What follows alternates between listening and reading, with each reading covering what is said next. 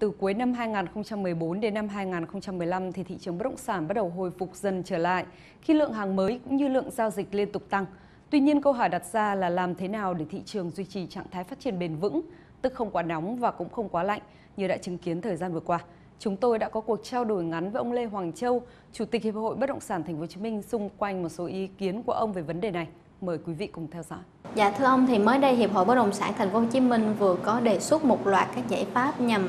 uh, giúp cho thị trường bất động sản Thành phố Hồ Chí Minh phát triển bền vững hơn. Uh, trong đó tôi thấy ông có đề cập đến nhiều yếu tố ví dụ như là về quy hoạch,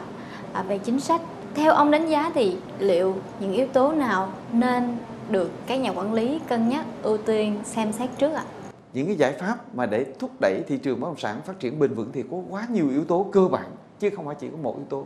cho nên chúng tôi cũng nói, cũng phải nói, cũng phải vài yếu tố cơ bản nhất. Thì cái yếu tố đầu tiên hết, đó là cái hệ thống pháp luật của chúng ta, điều chỉnh thị trường bất động sản, nó phải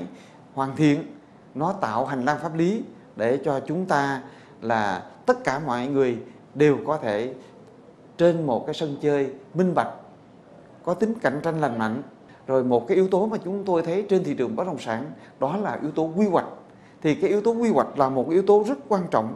để phát triển một cách bền vững. Thưa ông, một cái khảo sát gần đây cũng có đề cập đến một số điểm số về chính sách cũng như là về thủ tục tại Việt Nam à, ở mức điểm khá là thấp so với lại các nước trong khu vực. À, ông có nghĩ đây là một trong những hạn chế mà chúng ta à, cần phải được xem xét để mà có thể là cải thiện hơn, đặc biệt là về thời gian hoàn tất một thủ tục của một dự án. À. Chúng ta thấy rằng hiện nay cái thủ tục hành chính phải nói đây là một cái ma trận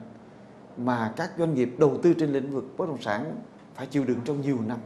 Cho tới giờ này mặc dù đã có sự cải tiến qua cái cơ chế một cửa ở một số địa phương, cho nên chúng tôi là các doanh nghiệp phát triển bất động sản là có một cái đề nghị mà nói một cách rất là hình tượng đó là chỉ cần cán bộ nhà nước các cấp từ cấp bộ cho đến cấp các tỉnh cấp tỉnh thành cho đến cấp quận huyện cấp phường xã ký nhanh hơn một chút là thị trường bất động sản sẽ phát triển tốt hơn rất nhiều. Tiết kiệm thời gian, tiết kiệm công sức.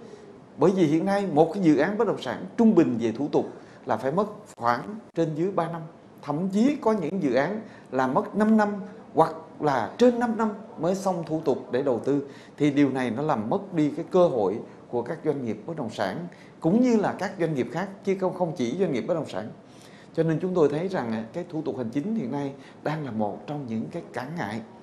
mà nó làm cho kìm hãm sự phát triển của nền kinh tế của chúng ta. Nhưng mà ở đây chúng ta cũng phải nói một điều rất thật, đó là bộ máy của chúng ta quá cồng kềnh và cái mức thu nhập của người cán bộ công chức hiện nay quá thấp. Cho nên đây là những cái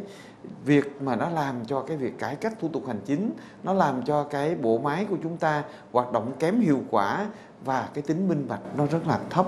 Thành phố Hồ Chí Minh là một trong những địa điểm khá là hấp dẫn đối với các nhà đầu tư cũng như là à, một lượng lớn lao động chất lượng cao. Tuy nhiên, đi cùng với nó cũng là một thách thức rất là lớn đó là à, tỷ lệ gia tăng dân số sẽ là một cái áp lực đối với phát triển hạ tầng.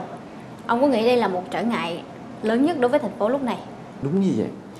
Tôi có trong một cái bài tham luận của mình